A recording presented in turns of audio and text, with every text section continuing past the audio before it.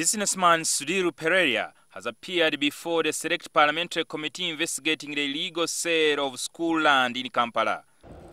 Kampala Parent School has 3,000 children. They're your children, and yours, and yours, and yours, who will be affected if they don't have a playing field. Do you want 3,000 children to be without a playing field? The Minister of State for Sports, Charles Bakkabulindi, has been accused of single-handedly giving a notice of no objection to Meera Investments, a company owned by Sudhir, to take over the Kololo SS Sports Ground. He did not consult me, neither did he copy the letter to me.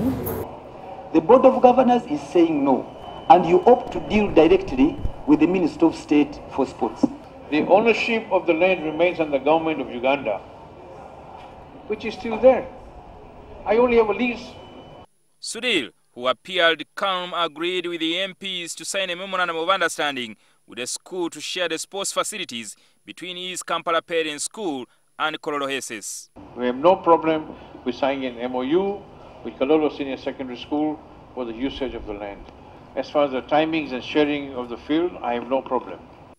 The committee also agreed Ronald Asimwe, the director of Prestige Hotel Suites in Nakasero, who was allegedly given the nearby Nakasero Primary School football pitch. Hardly four months down the road, you read the mortgaging without indicating that you needed further financing of your projects. It's not straightforward that if you pledge the security in the bank, they would give you the money. You have to also have capacity to pay back that money. Would it normally be that way? Uh, not, not necessarily. Not necessarily. No. Uh, I think, I think Let me no, wonder, no wonder it is a prestigious apartment. Committee is in possession of a letter written by former permanent secretary in the Ministry of Education, Francis Rubanga, warning of fraud in the Nakasolo school land giveaway. I would like to state categorically, telling the secretary, that you are promoting a fraud.